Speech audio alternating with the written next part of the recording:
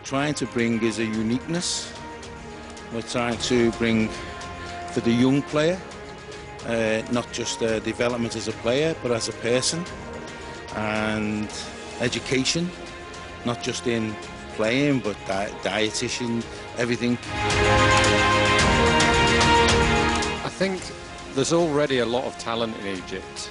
There's a lot of talented footballers. Mo Salah is, is the perfect example. So having that knowledge that there are players with that level of potential within this country is very encouraging.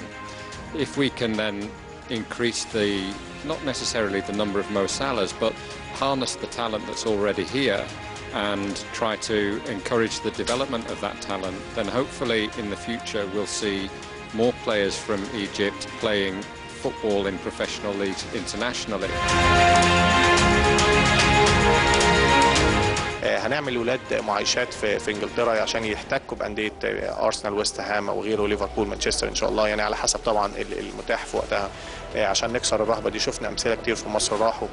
وللأسف رجعوا بعد فترة كان عندهم potential كويس ولكن عشان ال culture ما كانتش موجودة صح أو التفكير ما كانش صح فللأسف آه، اضطروا يرجعوا بس إحنا نحاول نتلافى الكلام ده إن شاء الله. آه، إحنا بنشتغل على سن 4 ل 14 سنة. آه، إحنا شفنا ناس بتبقى يعني عندها مشاكل في المشي آه، بيمشي بي- بياكل بيبقى طبيعي كل الحاجات دي بتتعلم في السن الصغير حاجات طبيعية جدا. إحنا عايزين الكوره يتعلموها بنفس الموضوع بالظبط. آه، تبقى حاجة طبيعية جدا إن هو بيتعلم إزاي يلعب كورة آه، في السن الصغير. فإن إحنا نبدأ من السن الكبير أعتقد هيبقى صعب شوية.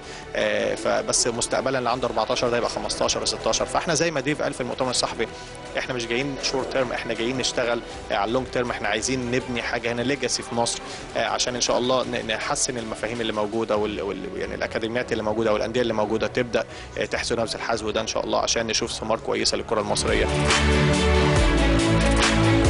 الحمد لله شغال في نادي كبير زي ايفرتون بحاول إن إحنا نيجي في مصر مع ال Four Corners ان إحنا نطبق ال- الحاجة اللي بتقدر اللي بتطبق في انجلترا. ميدو لعب في توتنهام وعارف كويس جدا ولعب في ميدلزبره ولعب في كذا نادي في في في, ال Premier League. وعارف كويس قوي إن الإنجليز هم آه، يعني أهل الكورة.